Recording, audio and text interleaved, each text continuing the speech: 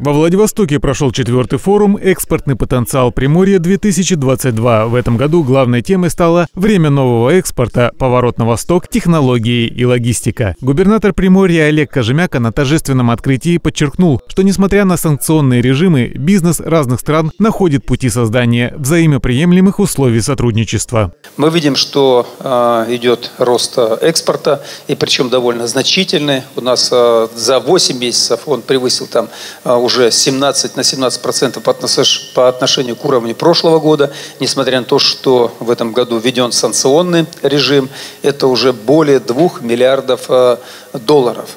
Причем 80% это не сырьевой экспорт. Это то, что производится руками э, наших э, жителей, жителей Дальнего Востока, жителей Приморья, то, которое интересует в общем-то, наших зарубежных партнеров. Также губернатор вручил награды предпринимателям-победителям регионального этапа конкурса «Экспортер года-2022».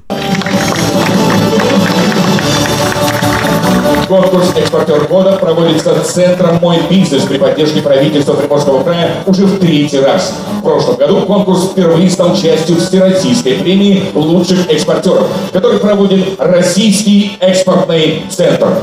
На площадке форума работала выставка-ярмарка региональной экспортной продукции, где некоторые производители представили свои товары. По словам министра экономического развития Приморского края Андрея Блохина, на данный форум было зарегистрировано около 500 человек. Олег Завьялов, Анна Дьякова. Новости на восьмом.